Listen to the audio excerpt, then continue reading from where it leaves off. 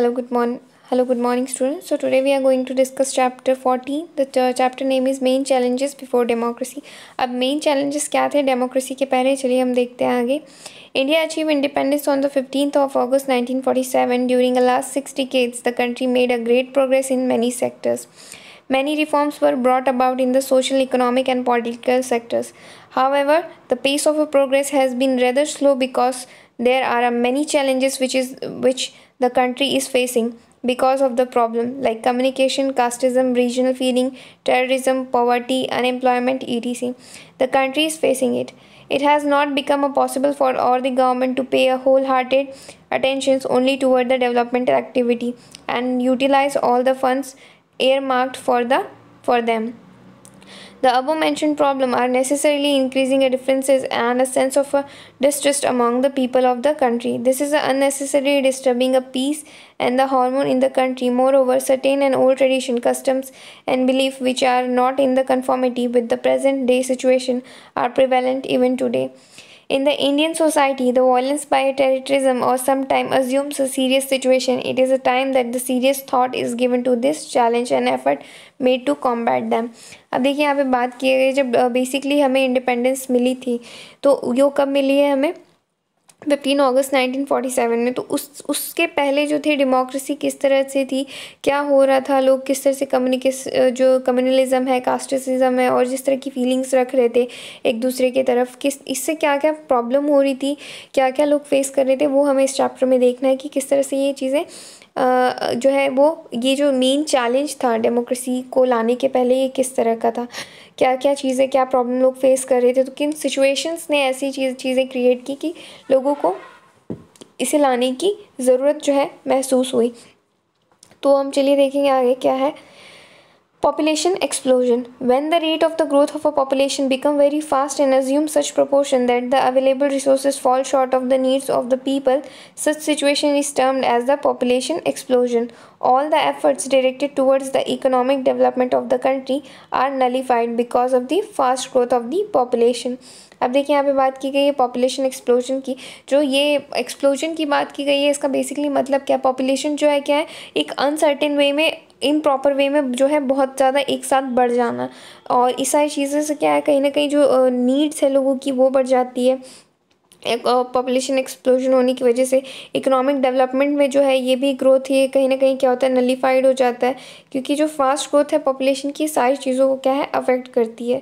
The geographical area of the country is two point four percent of the total geographical area of the world whereas the country population is world's population. India is the second in the world so far as the population is concerned, while it's a place in the seventh in the world in the respect of the geographical area available. Because of the population explosion, the problem of food, clothing, and shelter have become a grave. अब यहाँ पे जो बात की गई देखो geographical area की country में अगर यहाँ पे देखा गया है क्या है टू पॉइंट फोर परसेंट जो है क्या है टोटल जियोग्राफिकल एरिया की ग्रोथ है जो कि क्या है कंट्री पॉपुलेशन की अगर हम बात करें अप्रॉक्सीमेटली तो ये क्या है सिक्सटीन पॉइंट एट परसेंट भी है। यानी क्या है बेसिकली देखो जियोग्राफिकल एरिया में हमारी कंट्री ने टू पॉइंट फोर परसेंट का एरिया लिया है टोटली उसमें जो है सिक्सटी पॉइंट एट परसेंट जो है ये पॉपुलेशन हमने वर्ल्ड की इतनी पॉपुलेशन सिर्फ़ हमारे यहाँ पे इतनी है। तो हम क्या आ गए कहीं ना कहीं हमने हमारा पॉपुलेशन बहुत ज़्यादा है, हम चीज़ों का कंजम्पशन बहुत ज़्यादा करेंगे फ़ूड शेल्टर बाकी सारी चीज़ों जो है कहीं ना कहीं इन सारी चीज़ों में हमें प्रॉब्लम आएगी ही आएगी और ये बहुत डीप प्रॉब्लम है। Now we see the facilities and the uh, spread of the education in the country. Although the birth rate is also reducing, but in pace in the rather slow, the development of the natural resources of the country is dependent on the size of the population of that country.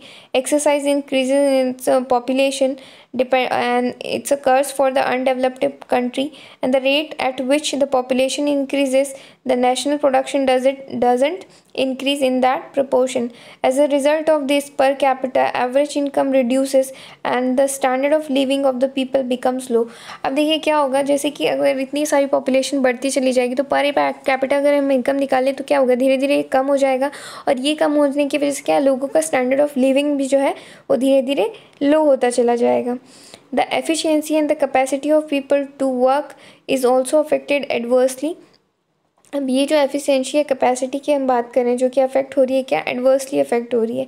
तो in our country family with two children has been considered ideal where the neighbouring country China family with one child has been considered to be ideal अब देखिए, हमारी country की इतनी population है तो इसमें जो है, अगर किसी की फैमिली में दो बच्चे हैं तो हम उन्हें आइडल मानते हैं कि हाँ चलो ठीक है। लेकिन हमारी दूसरी कंट्री जो नेबरिंग कंट्री वो क्या है? चाइना है, जिसकी पॉपुलेशन ऑलरेडी बहुत ज़्यादा है। तो वहाँ पर किसी को एक बच्चा है अगर तो उसकी पॉपुलेशन क्या है? वो, उसको हम आइडल मानते हैं कि एक बच्चा है तो ठीक है। So causes of a population explosion अब क्या क्या कॉजेज है पॉपुलेशन और एक्सप्लोजन की, वो हम देखेंगे आगे। Following are some of the main reasons of the increase in population first is social reason due to a joint family system it is not difficulty to bring up a look after more children More children are born due to the child marriages. In the Indian society, believe the old tradition where the birth of male and child is given a more importance. The social condition of woman is a fable. Birth of the child is considered as boon of the god अब देखिए यहाँ पे क्या हो गया है आप देख सकते हैं कि कितने सारे रीजन बताए गए जो सोशल रीज़न है मेन पॉपुलेशन एक्सप्लोजन की अब इकोनॉमिकल रीज़न क्या है चलिए देखेंगे आगे due to poverty more children are consider to be the economic asset मतलब जितने ज़्यादा बच्चे होंगे, वो इकोनॉमिक असेट है। Dependence on agriculture children of a people engage in agriculture help them to the agricultural operation such as grazing the cattle and protecting the crops E T C faulty faulty economic version. The rural people think that uh, every new child in the family brings a pair of hands to a work and he will prove to be a helping hand in the family of a household work they consider children as a, bo- a boon अब देखिए यहाँ पे बताया गया economic reason जैसे कि आपने देखा कि कि इकोनॉमिकल रीज़न क्या क्या है पॉपुलेशन एक्सप्लोजन का। अब हम अदर रीजंस में देखेंगे अदर रीजंस क्या है? देखिए these are the very simple sentence so I hope आप इसके मीनिंग समझ रहे हैं। मुझे हिंदी कन्वे करने की ज़रूरत नहीं है यहाँ पे बट हाँ बून का मतलब मैं आपको बता दूँ बून का मतलब होता है वरदान। अब चलिए हम देखते हैं आगे अदर रीजंस क्या है? Illiteracy illiterate people are not able to appreciate the problem of over population and the large family they therefore do not pay any attention toward this problem climate the different climate of the India is hot. The girls here attain the puberty in an early age and due to the early marriage they give a birth to the child very early there is a dearth of the birth control means due to the ignorance and the lack of easy availability people do not make use of birth control measures to the desired of the extent diminishing death rate अब the death rate जो है ये भी दिन दिन पे दिन क्या हो रहा है पॉपुलेशन जिस तरह से बढ़ रही है उसके कंपेयर में कम होता चला जा रहा है तो ये भी एक बहुत बड़ा रीज़न है now we see there is a effect of population of explosion अब क्या क्या एक्सप्लोजन किए हैं वो यहाँ पे बताए गए हैं। ना अब देखेंगे हम आगे। Steps to solve the problem of a population explosion अब कौन कौन से स्टेप्स जो हैं वो प्रॉब्लम पॉपुलेशन एक्सप्लोजन को कंट्रोल करने के चलिए देखेंगे आगे। The only way To arrest a population growth in India is to drastically control the birth rate. The government has formulated a population policy to arrest the growth of the population in the country. Following steps are being taken in this direction. Family planning program has been implemented and constant propaganda and the publicity is being done for its success. Family planning centers have been set up in the cities and villages. The age of the marriage has been increased to the 18 years for girls and 21 years for the boys. Family planning programs are being promoted and the training programs are being organized to make the program effective. Promotion of the philosophy of a two children in a family. Pay attention toward the basic maternity facility, immunization and vaccination against the certain disease. Pay more attention toward the women education and associated a social institution in the family planning program. In spite of constant effort of the government in this direction, the desired results are not being achieved. Therefore, there is a need to put up this issue before the people as an issue of a national importance and there is a, also a need for bringing awareness among the people. अब चलिए अब देखेंगे हम unemployment अब यहाँ पे जो है ये स्टेप्स बताए गए थे कि किस तरह से हम पॉपुलेशन को कंट्रोल कर सकते हैं। अब हम देखेंगे अनएम्प्लॉयमेंट क्या हो रही है, किस तरह से बढ़ रही है या कम हो रही है। अर्बन एरियाज़ में कैसी है रूरल एरियाज़ में कैसी है। Unemployment is a situation where people are willing to work on the prevalent rate of the wages salary but they do not find a work. In the situation, this gap between the available labor supply and the opportunity for employment increases. The supply of the labor is more as compared to the demand of that is people are willing to do work but they are not able to get work in India. Unemployment is both in the urban areas to also in the rural areas. अब देखिए unemployment क्या है? Basically लोग जो है कम से कम पैसे में भी काम करने को तैयार है, लेकिन क्या है? रोज़गार उन्हें मिल नहीं रहा है। इसे हम करेंगे अनएम्प्लॉयमेंट अब देखिए अर्बन एम्प्लॉय अनएम्प्लॉयमेंट की अगर हम बात करें तो यहाँ पे लोग क्या है? ज़्यादा से ज़्यादा लोग एजुकेटेड हैं और इस वजह से क्या है? उनको प्रॉपर काम नहीं मिल पा रहा और जो प्रॉपर काम नहीं मिलेगा उनको उनके एजुकेशन के हिसाब से तो वो जॉब नहीं करेंगे। तो कहीं ना कहीं क्या है? ये अनएम्प्लॉयमेंट का बहुत बड़ा रीज़न है। दूसरा दूसरा रूरल अनएम्प्लॉयमेंट क्या है? सिर्फ़ और सिर्फ़ एग्री एग्रीकल्चर सेक्टर की वहाँ पे अपॉर्चुनिटी है। लोग जो है उसी में ज़्यादा जो है काम कर रहे हैं। उसके अलावा और कोई काम नहीं है। तो ज़्यादा से ज़्यादा लोग कितने लगेंगे? कुछ ही लोग लगेंगे एग्रीकल्चर के लिए। उसके अलावा जो लोग हैं वो क्या है? एज अनएम्प्लॉयमेंट पड़े हैं। तो ये भी एक बहुत बड़ा रीज़न है। अब कॉजेज़ क्या है अनएम्प्लॉयमेंट इंडिया में? वो चलिए हम देखेंगे। Fast rate of a population growth यानी बहुत स्पीडली जो है पॉपुलेशन की ग्रोथ जो है बढ़ती जा रही है। ये जो है रेट ऑफ़ ग्रोथ बहुत बड़ा रीज़न है। उसके बाद प्रेशर ऑन एग्रीकल्चर जिस तरह का प्रेशर पड़ रहा है एग्रीकल्चर पे यानी Uh, मतलब uh, कि जो लैंड है वो एग्रीकल्चर के लिए इंक्रीज़ करनी चाहिए तो इसकी जगह अनएम्प्लॉयमेंट की वजह से क्या हो रही है सारी चीज़ इनकम की वजह से फार्मर्स जो है बहुत ही धीरे धीरे धीरे क्या हो रहा है बेसिक एग्रीकल्चर धीरे धीरे कम होता चला जा रहा है। बेसिकली देखिए क्या है the pressure on land and agriculture is increase resulting in to the latent unemployment यानी कम से कम ज़मीन में ज़्यादा ज़्यादा एग्रीकल्चर कितना निकाल पाएँगे? तो ये प्रेशर कहीं ना कहीं बहुत ज़्यादा बढ़ रहा है और इस चक्कर में क्या है अनएम्प्लॉयमेंट हो रही है? इनकम लोगों को बहुत कम मिल पा रही है, यानी जो मार्जिन मिलना चाहिए फार्मर्स को उतना मिल पा रहा है क्या? नहीं मिल पा रहा है। डिफेक्टिव एजुकेशन सिस्टम यानी एजुकेशन सिस्टम जो है वो प्रॉपरली नहीं हो पा रहा है। इस वजह से भी लोगों को कई चीज़ों का ज्ञान नहीं हो पा रहा है जितना होना चाहिए। डिफेक्टिव प्लानिंग प्लानिंग सही नहीं है चीज़ों की, किस तरह से, किस पे ध्यान दे रहे हैं, किस चीज़ को कितनी अटेंशन की ज़रूरत है एम्प्लॉयमेंट अपॉर्चुनिटी को कैसे लाना है, नए प्लान्स को कैसे लाना है, ये सारी चीज़ें जो है डिफेक्ट है प्लानिंग में। Lack of mobility of a labour अब जो रूरल एरिया में जो लोग हैं, जो अनएम्प्लॉयड पड़े हैं, हम उन्हें उठा के अर्बन एरिया में नहीं ला सकते। यानी क्या है बेसिकली लोगों को एक दूसरे जगह से दूसरी जगह भेज रहे हैं कि जो मोबिलिटी की फैसिलिटी है, वो भी एक बहुत बड़ा रीज़न है अनएम्प्लॉयमेंट का। स्लो इकोनॉमिक ग्रोथ अब इकोनॉमिक ग्रोथ जो है, वो बहुत ही ज़्यादा स्लो है। लोग जो है धीरे धीरे उस लेवल से बड़े, दूसरे लेवल पे पहुँच पा रहे हैं। तो ये भी एक बहुत ही बड़ा रीज़न है। लैक ऑफ़ कैपिटल मोबिलाइजेशन अब देखिए, जो इनकम की बात करें, जो भी कल्टिवेटर्स हैं सेविंग्स हैं, ये जो भी चीज़ें निकल रही है इन्वेस्टमेंट्स बाकी चीज़ें एम्प्लॉयमेंट से क्या है जनरेट नहीं हो रही। तो बेसिकली मोबिलाइजेशन भी एक जो है, बहुत बड़ा प्रॉब्लम है। मेकेनिज़्म ऑफ़ द इंडस्ट्री अब इंडस्ट्री का जो है मेकेनिज़्म क्या हो रहा है? ज़्यादा से ज़्यादा टेक्नोलॉजी में एडवांस होते जा रहे हैं तो एम्प्लॉय कम रखने मैन पावर उन्हें कम लग रहा है। तो क्या है? इस वजह से भी ये चीज़ जो है, ये अनएम्प्लॉयमेंट बढ़ रहा है। Defective thinking of educated people अब बहुत ज़्यादा एजुकेटेड अगर पीपल है तो क्या करेंगे? वो उससे कम काम नहीं करेंगे लेबर वाले काम नहीं करेंगे। तो ये एक जो डिफेक्टिव थिंकिंग है लैक ऑफ़ एम्प्लॉयमेंट गाइडेंस अब एम्प्लॉयमेंट गाइडेंस जिसे प्रॉपरली नहीं मिल पा रहा है, किस तरह की फैसिलिटी क्या एम्प्लॉयमेंट को चाहिए, कहाँ एम्प्लॉयड होना है, नहीं होना है तो ये सारे रीजन्स जो है, कहीं ना कहीं ये फैक्टर बहुत ज़्यादा अफेक्ट कर रहे हैं इन चीज़ों को। The above factors lead to the following adverse effect of the unemployment अब देखिए जो ये फैक्टर जो है, किस तरह से एडवर्सली इफ़ेक्ट कर रहे हैं अनएम्प्लॉयमेंट को हम देखेंगे। Waste of the man power इस तरह से क्या हो रहा है? बेसिकली जो मैन पावर है, वो धीरे धीरे वेस्ट होता चला जा रहा है। Hindrance in the economic development अब अनएम्प्लॉयमेंट अगर बढ़ेगी एग्रीकल्चर और बाकी सेक्टर्स में धीरे धीरे इनकम लो होती चली जाएगी तो क्या होगा? जो इकोनॉमिक डेवलपमेंट की ओर हम बढ़ रहे हैं, वो धीरे धीरे क्या होगा? हैम्पर्ड होता चला जाएगा। वेस्टेज ऑफ़ रिसोर्सेज कई सारे ऐसे रिसोर्सेज हैं जो सबके साथ, शायद सबको यूज़ करने थे बट अनएम्प्लॉयमेंट की वजह से वो रिसोर्सेज क्या हो रहे हैं? यूज़ नहीं हो पा रहे हैं। सोशल प्रॉब्लम अब अनएम्प्लॉयड लोग जो है, वो विक्टिमाइज हो रहे हैं किस चीज़ का? डिससेटिस्फैक्शन का। तो लोग क्या कर रहे हैं? क्राइम कर रहे हैं थेफ्ट कर रहे हैं। तो ये सारी चीज़ें जो है, कहीं ना कहीं सोशल प्रॉब्लम भी क्रिएट करी है बहुत ज़्यादा। पॉलिटिकल इंस्टेबिलिटी अनएम्प्लॉयमेंट जो है, कहीं ना कहीं ये बहुत डिससेटिस्फैक्शन दे रही है एंगर दे रही है गवर्नमेंट को। इन अ पॉलिटिकल इंस्टेबिलिटी की अगर हम बात करें ways and the means to remove unemployment hmm. to check the growth and rate of the population. The rising population should be controlled. This is a necessary along with the step to increase the employment opportunity अब यहाँ पे देखिए बात की गई है कि इन सारी क्या क्या तरीका है अनएम्प्लॉयमेंट को ख़त्म करने का?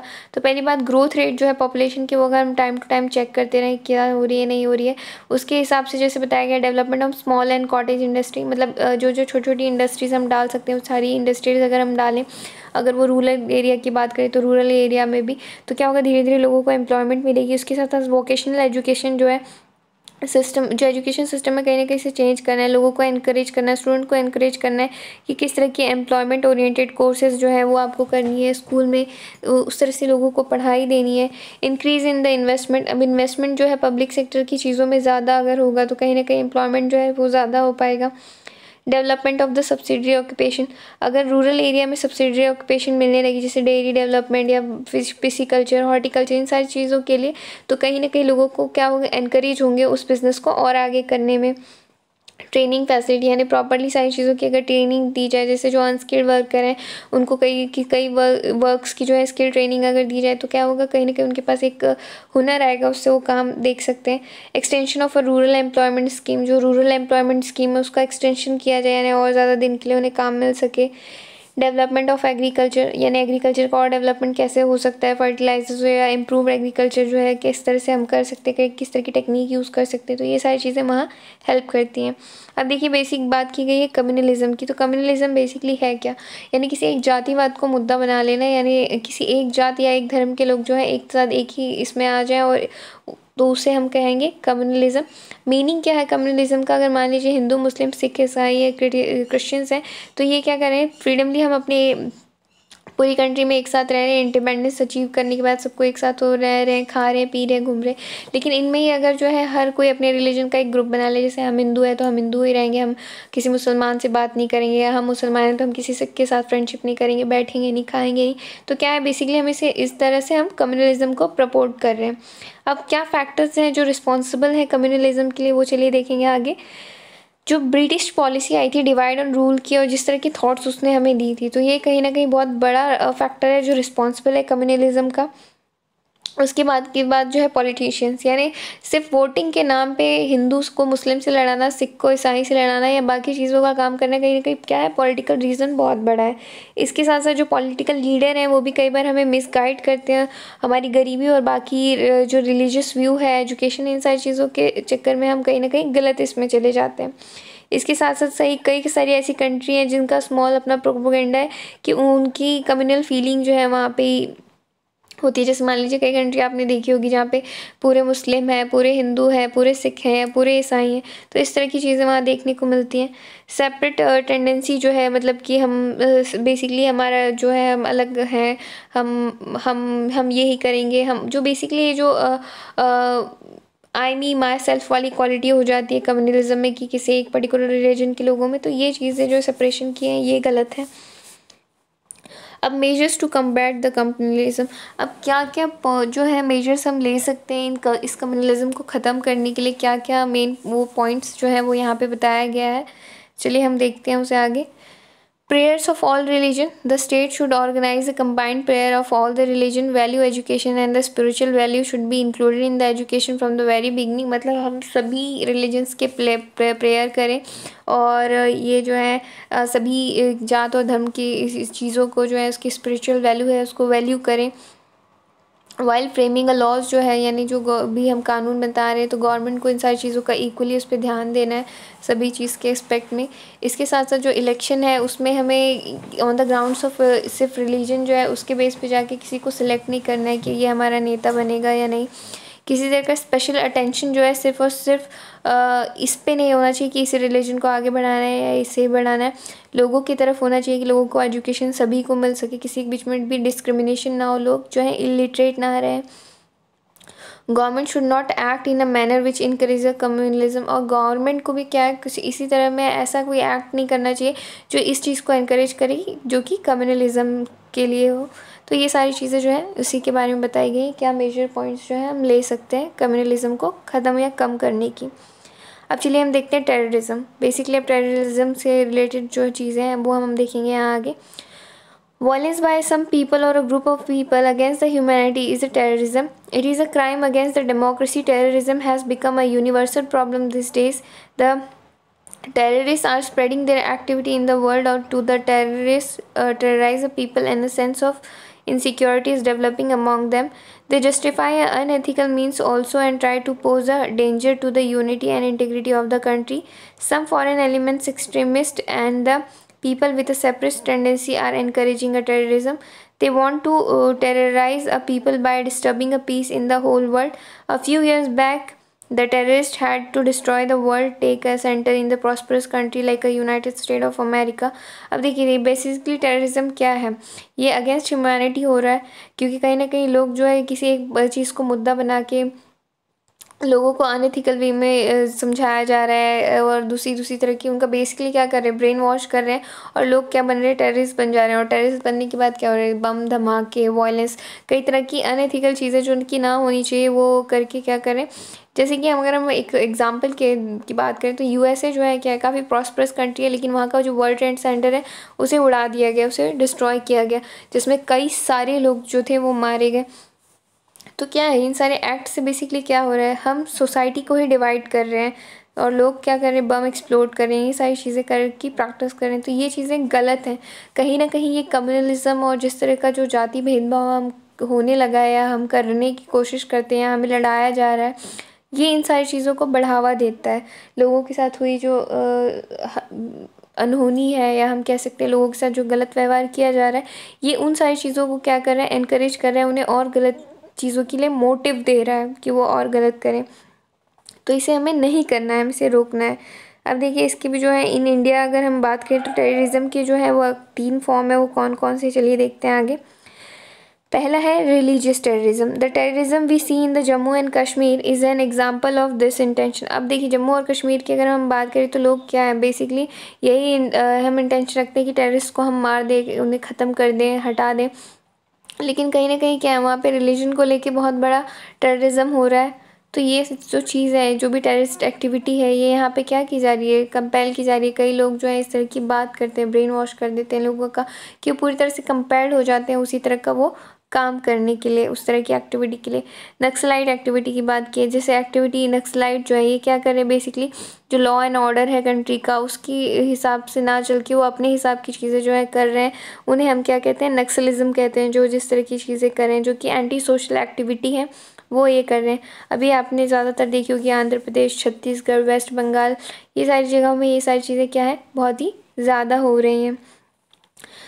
तीसरा जो है वो क्या है? Communal terrorism in the state of the North East India the tribal and the non tribal community constantly fight with each other and they are posing a law and order problem before the country अब देखिए, जो communalism का communal terrorism है, ये भी एक बहुत बड़ा प्रॉब्लम है जो कि नॉर्थ ईस्ट इंडिया की अगर हम बात करें, जो ट्राइबल्स हैं, या जो ट्राइबल कम्युनिटी है, जो कि एक दूसरे कॉन्स्टेंटली ये जो फाइट है वो होती आ रही है, ये किस लिए हो रही है? लॉ एंड ऑर्डर जो है कंट्री के बिफोर रखा गया है, उसकी वजह से। तो अब इन सारी चीज़ों का क्या है, क्या इम्पैक्ट हो रहा है, वो हम देखेंगे।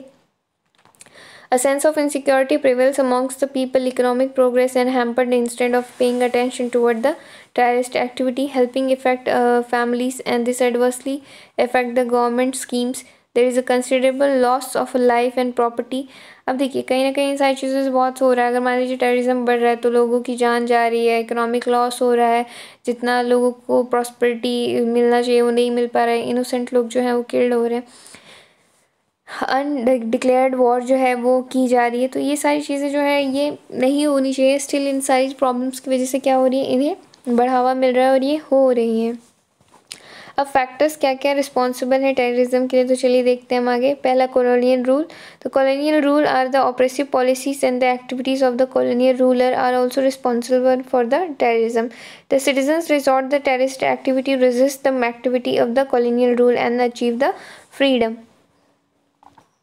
अब देखिए, जो फैक्टर रिस्पॉन्सिबल कर रहे हैं कॉलोनियल रूल क्या है? ये अपनी ऑपरेसिव पॉलिसी लाता है, अपने हिसाब से जो रूल्स है रेगुलेशन है, ये सारी चीज़ें किसी कंट्री पे एक्ट करता है, उनकी फ्रीडम को बेसिकली क्या ख़त्म कर रहा है। तो ये कहीं ना कहीं जो है, ये रिस्पॉन्सिबल कर रहा है किस चीज़ के लिए? टेररिज्म के लिए।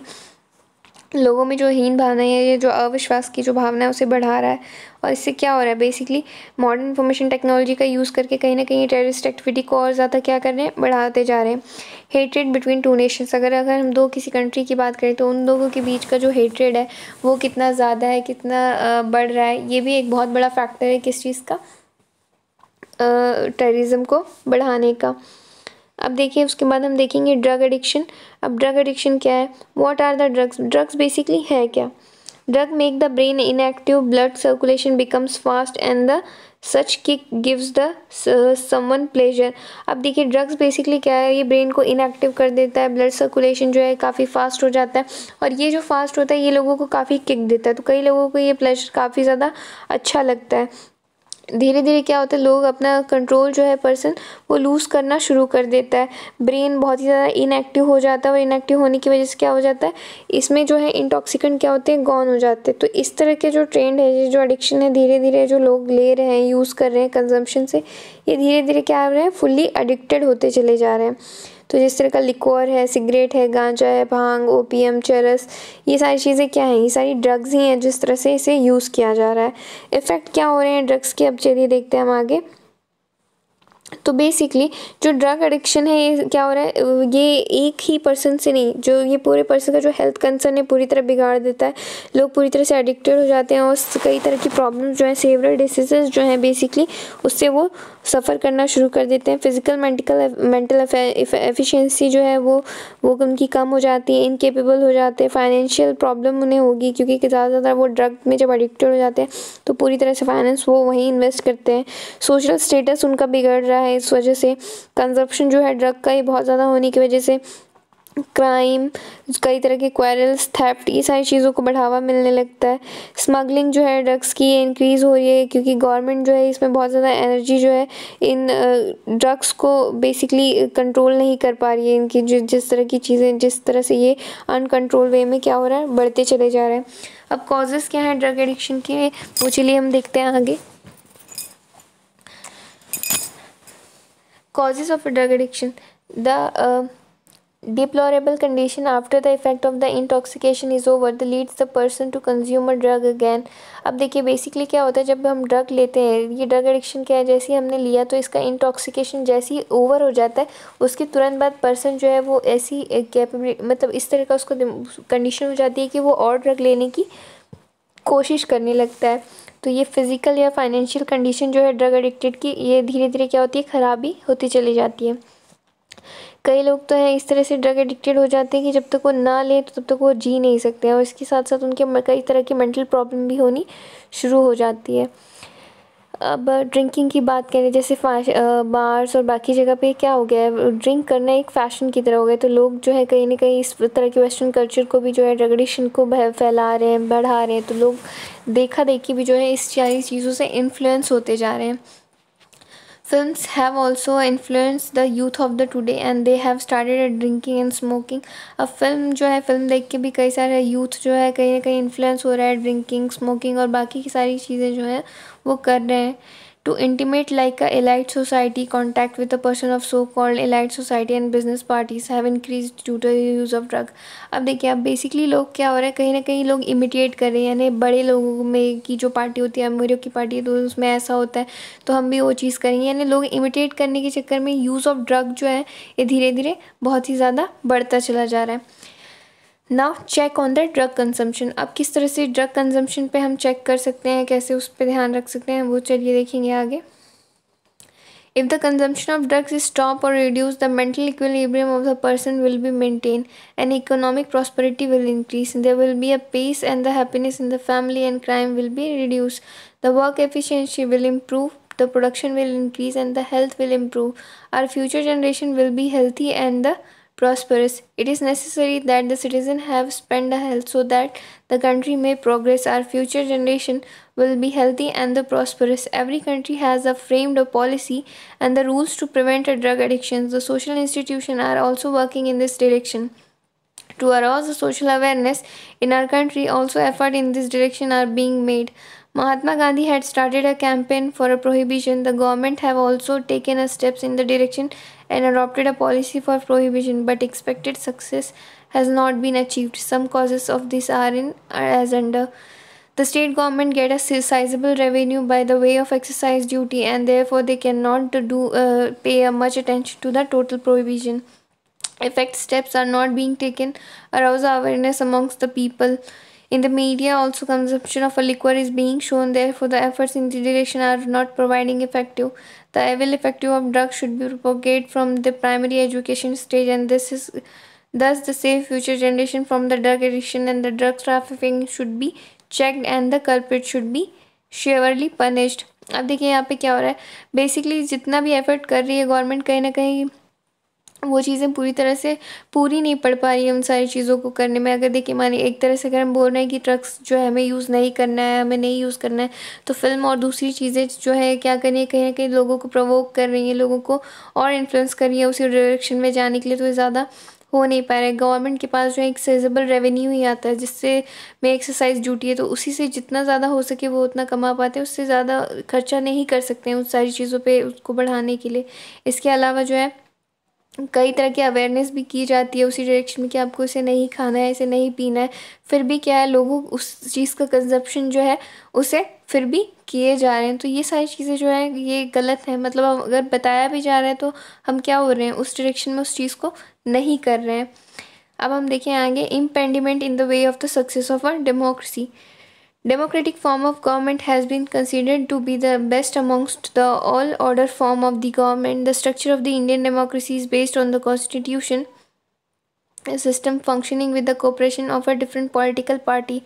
With the passage of a time, some effect defects have crept in the uh, in which the pose threat to the present democratic system. The challenge which our democracy is facing are the hurdles in the way of the success of our democracy hurdles in the way of Indian democratic system में अब क्या क्या hurdle हैं democratic system में हम चलिए देखते हैं क्या poverty and unemployment जैसे कि हम जानते हैं कि poverty क्या है, कहीं कहीं ना कहीं ये बहुत बड़ा रीज़न है किस चीज़ का अनएम्प्लॉयमेंट का।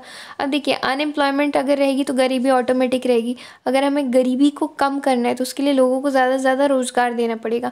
अगर रोज़गार लोगों के पास होगा तो उनके पास इनकम होगी, वो सारी चीज़ों को अपनी अपनी जो उनकी ओन नीड्स हैं, अपनी ओन प्रॉब्लम्स हैं, उनको वो सॉल्व कर पाएँगे।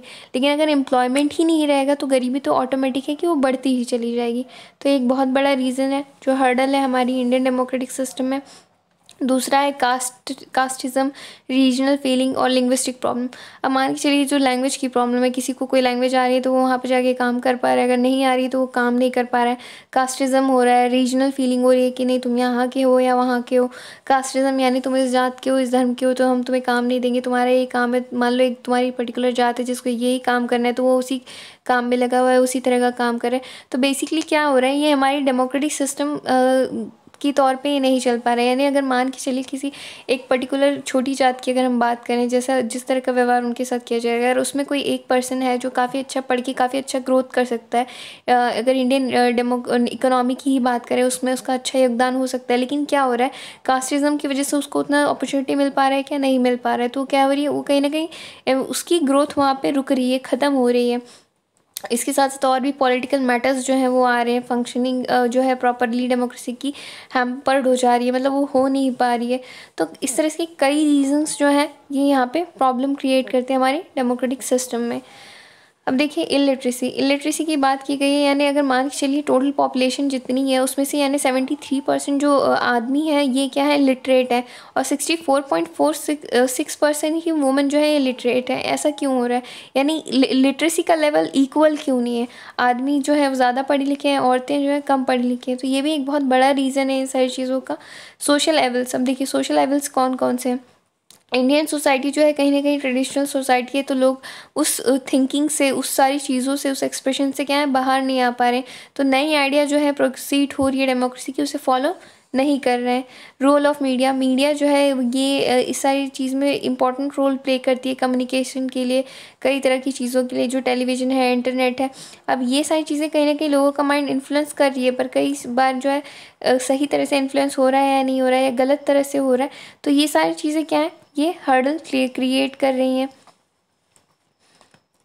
तो इस चीज़ का हमें सही यूज़ करना चाहिए। यानी रोल ऑफ़ मीडिया जो है मीडिया का जो रोल है बहुत बेस्ट पॉसिबल वे है लोगों के कम्युनिकेशन को बढ़ाने का। तो हम जो टीवी सीरियल्स या किस तरह का प्रोग्राम चला रहे हैं तो कुछ इस तरह का चलाएँ कि लोगों की थिंकिंग लोगों की चीज़ें क्या है जो टाइम टू टाइम बदलती जाएँ, जो कि मेन प्रोपोगेंडा है इस चीज़ का।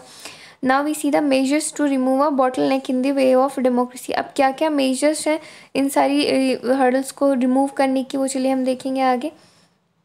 In the preamble of the constitution the objective of the state policy have been clear defined this objective are democratic secular republic equality liberty and the fraternity for all the citizen social economic and the political justice dignity of the people and the protecting the unity and integrity of the people soon after the independence the government administration and the people are making a constant effort to achieve this objective but certain factors are coming in the way of achieving the above objective for removing poverty and unemployment the social awareness is also necessary beside the government effort individual and the society together should come forward and take the benefit of the government scheme vocational education and self employment scheme need to be given a boost Public awareness is necessary for spread of education, casteism and the caste feeling, region feeling, linguistic issue. All these are related to the mental makeup of the people. There is a need to take a steps for ensure that people follow the law, election system and also needs improvement and therefore steps to improve the system are also necessary. In a democracy, it is necessary that the corruption is eradicated and the crimes are controlled. The culprit should be punished immediately for this and there is a need for reform the judiciary system. The number of a political party should also reduce by making a law in this respect. Training of morality and the moral values should not organize for a political leaders on our basis.